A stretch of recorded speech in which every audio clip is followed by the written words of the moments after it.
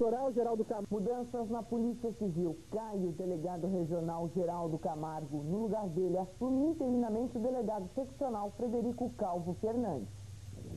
A Polícia Civil do Litoral do Estado tem uma nova chefia a partir de hoje.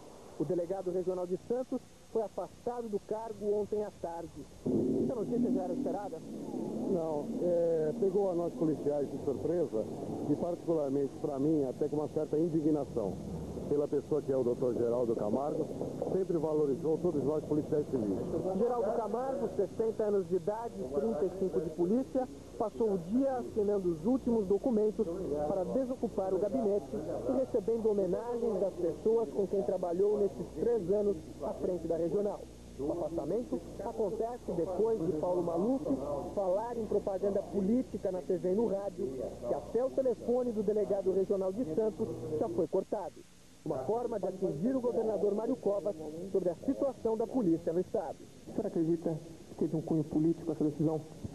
Bom, pode ter sido cunho político, porque eh, estava me esforçando ao máximo para, para realizar o meu trabalho, tanto na esfera policial como na área administrativa.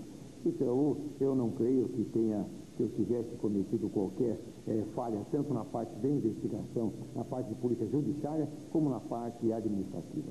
Como é período pré-eleitoral, Geraldo Camargo ainda não pode ser transferido. Ele vai permanecer aqui à disposição da polícia.